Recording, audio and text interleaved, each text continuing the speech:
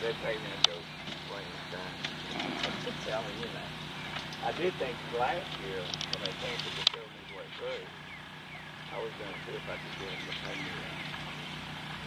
Pay, well, pay me a fee to show up, and then if I make the money, that, you know, even even a portion of the money that I think I'm gonna make, or more money than they pay me, I get the money back.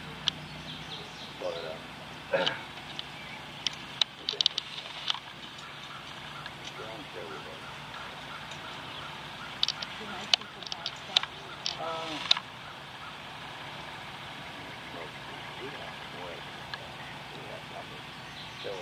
Molly, but uh, we'll be a Molly.